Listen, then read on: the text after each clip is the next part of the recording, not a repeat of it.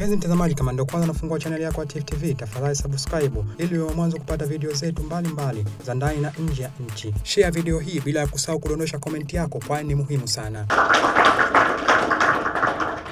tungekuwa tuna utaratibu mzuri wa rating kama wanavyofanya labda akina CAF na, na wengine e, mji wa Wete ungekuwa rating yake ingekuwa imepanda kutokana na, na hili ombe sana kwamba tuwe na hamasa tuendelee kuijenga, na siku hizi kuna ufundi mwingi wa kukuza hamasa. Kuna hizi social media, kuna njia nyingi za kukuza hamasa. Tunaziona timu kubwa zinavyo zinavyofanya, mengine wala haihitaji gharama kubwa.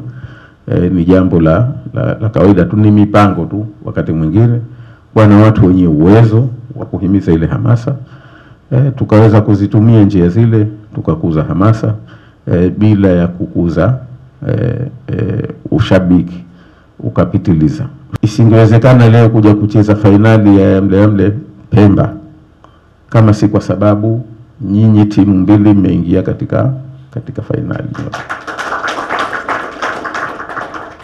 Tungekuwa tuna utaratibu mzuri wa rating kama wanavyofanya labda akina kafu na, na wengine e, mji wa Wete ungekuwa rating yake ingekuwa imepanda kutokana na, na hili. Niwapongeze viongozi wote wa timu zote mbili wakiwemo Wete City na Pochinki City. Kwa kweli wamefanya kazi kubwa sana, wamefanya kazi kubwa kiasi ambacho haikuwa rahisi kwa timu zilizotokea Zanzibar kushiriki katika ligi hii ya Yamle Yamle Cup. Ni timu nyingi sana, lakini matokeo yake washindi wametoka mkoa wa Kaskazini ambao ni Wete wote.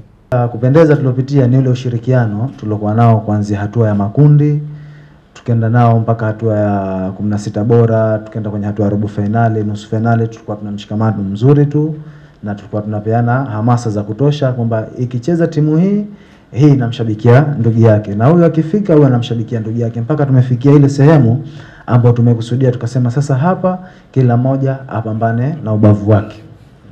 Eh, na nashukuru tumepambana, Mungu akajalia ali nani kachukua ubingwa.